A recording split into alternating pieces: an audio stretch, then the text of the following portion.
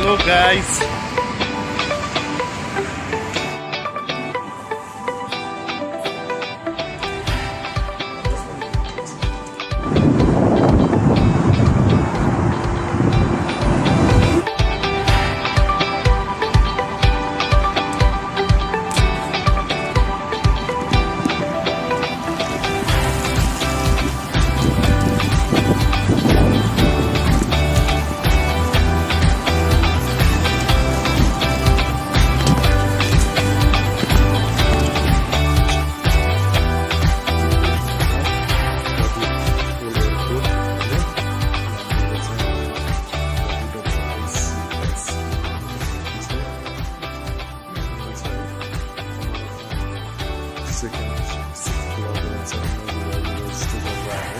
सबै केही कुराहरू सोधेँ बुझेँ लेख्न सोधेँ होइन प्रोसेस लामो छ भन्न सकिँदैन के हुन्छ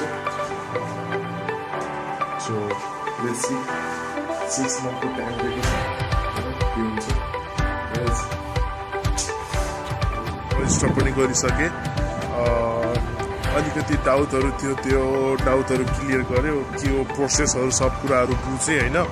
अहिले अब म त्यो सब इन्टरभ्यू र अपोइन्टमेन्ट सकेर अहिले चाहिँ म फाइनली अब जाँदैछु घरतिर। टुवेल्भ मन्थको प्रोसेस हुन्छ खै थाहा छैन के हुन्छ।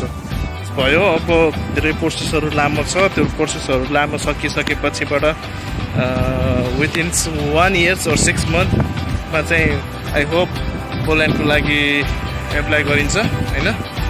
Thank you guys bye bye